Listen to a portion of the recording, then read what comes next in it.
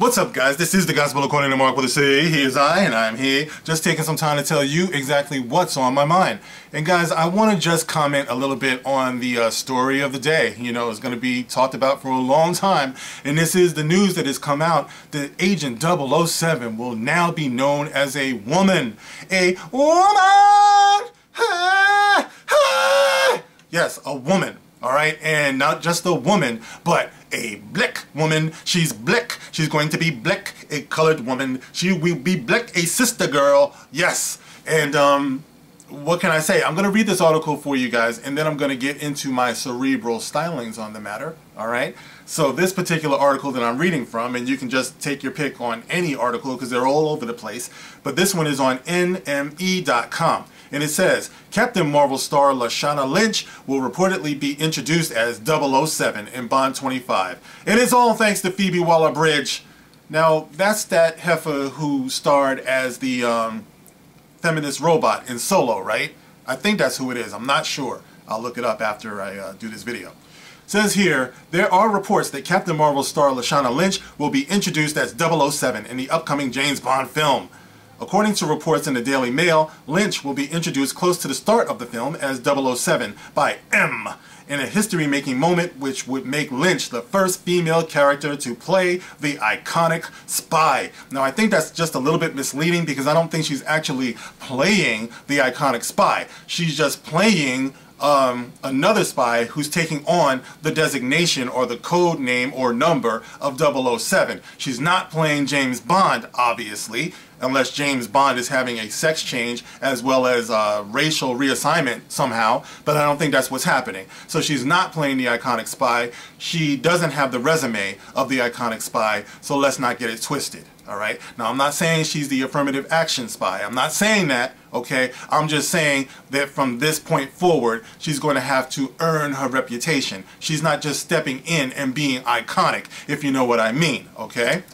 Goes on to say, the source added that later, Daniel Craig's Bond is set to be brought out of retirement to thwart a global crisis, although it's not certain yet what Lynch's role will be after this.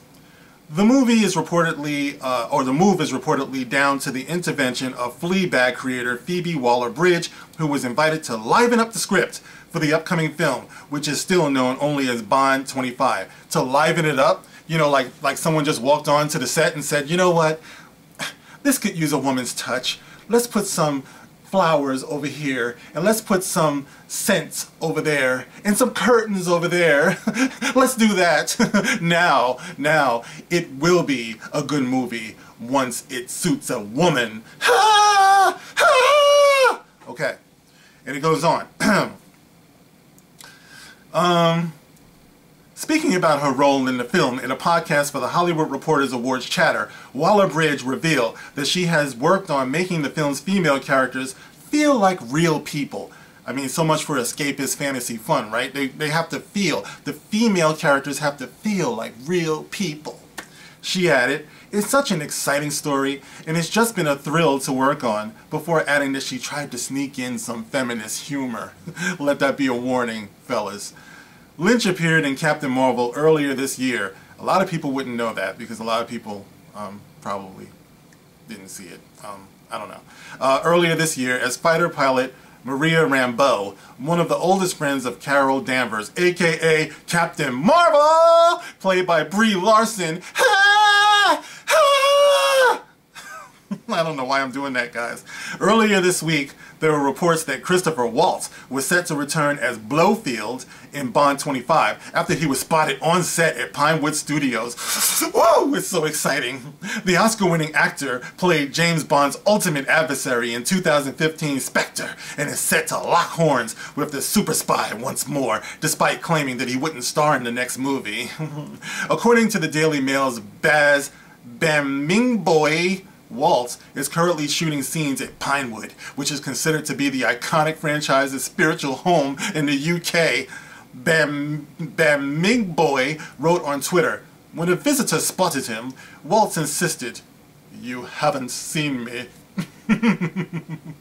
filming, oh wait, wait, what happened? Oh, filming is currently back underway after Daniel Craig injured his foot during a shoot in Jamaica. Oh, Poor Daniel Craig, I injure my foot every damn day, but lifestyles of the rich and famous, right? Putting a brief halt on production while the actor recovered from surgery. Um, alright, well that's it for the article, guys. And all I can say about that is, I am woman! Um, listen, guys, uh, listen, um, congratulations to Lashana Lynch, okay? I am not a hater. Get your money, girl, that's all I can tell you. But another one bites the dust. You know, another um, iconic, legendary, uh, beloved franchise bites the dust. James Bond 007, they're synonymous. You know, if James Bond retires, 007 retires. If there's going to be another spy, they should have another designation. This doesn't make any sense to me, okay? And it doesn't ring true. All right, how in the hell?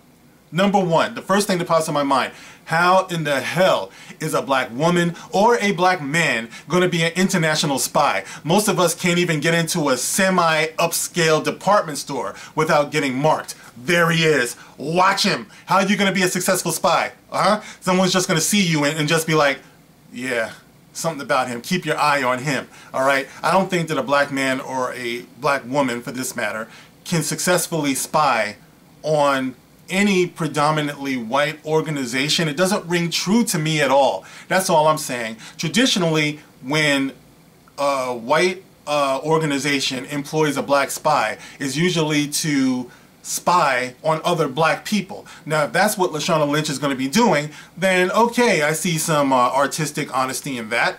But other than that, no. Unless she's, maybe she's spying on, um, trying to find out why there's a, a abortion clinic just about in every rundown predominantly black neighborhood. Maybe she's looking for that. I mean, because before you can get to the bottom of global uh, domination and all that shit, you might want to find out what's going on in your own damn backyard. All right, so that's all I'm saying. Before black people get all up and on their feet and cheer and everything like that, let's remember we're skipping some steps right now. Okay, there are other things that actually plague the areas that black people tend to come from. All right, so if you're to have a spy or you're to have an operative or somebody who's to be looking out for the interests of the people, you might want to have them looking out for the interests of the people that are residents in the community from where they come from. That's all I'm saying. All right, so if you want to have it be a little bit more um, uh, true to life, if you want to have it be a little bit more honest, a little bit more authentic, that's all I'm saying. All right, because these are the pressing issues. You know, or I mean, what are you going to call these movies? Are you going to call it um, uh, Octo Mom Pussy? Are you going to call it uh, Goldfinger Nails? Huh? Are you going to call it um, On Her Majesty's uh, Social Service? That's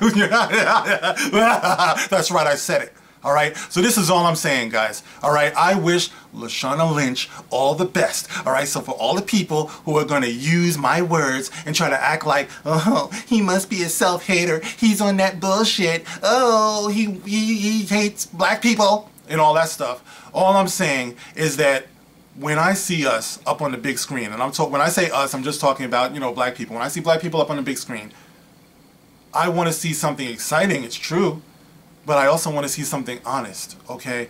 James Bond 007 is all about the most interesting man in the world, all right? He is the impossibly cool under pressure. He's shaken, not stirred. You know what I'm saying? He's a womanizer with a purpose. All right, he's enjoying his work. This is true, but he's not just womanizing to, to be womanizing. Usually, it's part of his mission. That's what makes his missions so sexy. you know what I'm saying? All right, and there's no um, there's no shame in being a Bond girl. All right, most Bond girls can be classified as independent, as tough, as intelligent. You know what I mean? So it's like this particular um, franchise it speaks for itself. You know, it doesn't need to be tinkered with. It's it's escapist fantasy fun and it has a distinct personality of its own and it's loved by people of all different persuasions and walks of life and races and religions. This is James Bond 007. It's like doing this, you won't be successful. I, I mean, I don't think you have to be a psychic to uh, figure that out. This is not me losing my mind over a movie. You know, like I said, by now the people in the comment sections have just gotten so repetitive, you know, with their narrative. You know, you just have to be a racist. You know, you just have to be closed-minded. You just have to be a fanboy, and and this is what they love. They just love fucking with what they consider to be uptight fanboys. All right, but history will judge us to be keepers of artistic integrity, keepers of tradition. You know, in this country, in this world, all right, there are stories that have endured the test of time. You know, what we're doing in Hollywood now is just publicly telling everybody that we are empty-headed so-called creators who have completely run out of ideas. You know, so everything has to be a platform now. It's like we don't have any concepts, we just have platforms. So everybody stands up on their platform and says, yes, I am going to tout for feminism. I am going to tout uh, against racism, against uh, ageism, against all types of isms and stuff like that. And they're forgetting how to tell a story. You know, in the meantime, all of the uh, creative, you know, legendary, iconic characters are being destroyed. And they think that people are just going to stand by and just not say anything. And if they do say something, you get to demonize them. Okay, you know, that's if that's the way you want it to be, I guess that's the way you're going to play the game. But it's not going to stop people from how they feel. And you're going to find out at the box office when this crashes and burns, just like everything else that you do this to.